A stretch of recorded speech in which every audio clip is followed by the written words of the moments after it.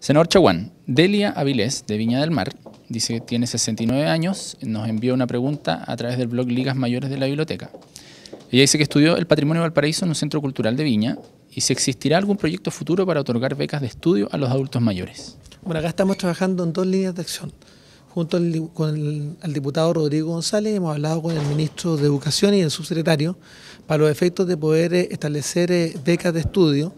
Primero, para poder terminar eh, la educación básica y media. Y ahí estamos trabajando para ampliar los cupos eh, para eh, la quinta región y particularmente para la, zona de Valparaíso y Viña del Mar. Paralelamente a lo anterior, en mis oficinas parlamentarias nosotros tenemos más de 50 talleres donde también damos las posibilidades para que los adultos mayores de, de mi zona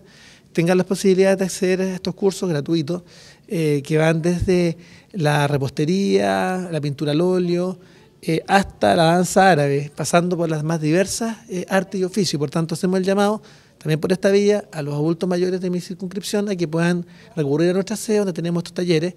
donde efectivamente no solamente somos, capaces de darle las posibilidades de un ingreso a la familia, habían personas que nunca habían tomado una máquina de coser, hoy día son microempresarias, fabrican